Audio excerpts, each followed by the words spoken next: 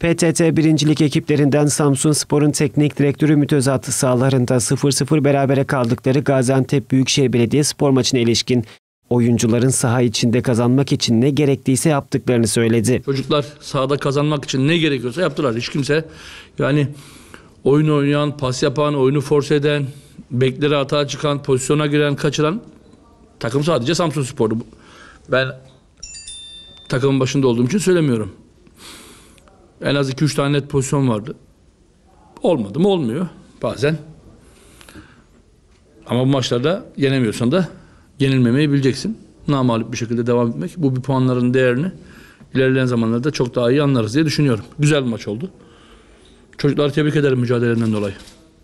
Bu takım kaybettiği zaman da kazandığı zaman da tribünlere gidecek. O maça gelen arkadaşlara teşekkür edecek. Bu bir kültürdür. Avrupa'da böyledir.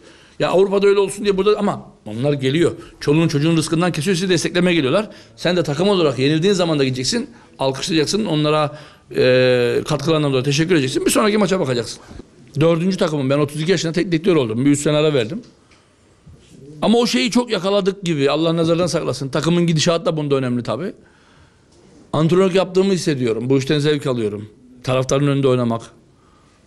O güveni size veriyorlar. Önemli bir şey.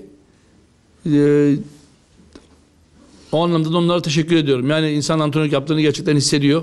O güzel bir şey. Allah razı olsun hepsinden. Gaziantep Büyükşehir Belediye Spor Teknik Direktörü Hakan Kutlu ise Samsun Spor'un iç sahada seyircisinin desteğiyle iyi mücadele eden bir takım olduğunu dile getirdi. Kazanmak için gelmiştik ama e, deplasmanda Samsun Spor gibi bir takım karşısında ve e, bu atmosferde bir puan da iyidir diye düşünüyoruz.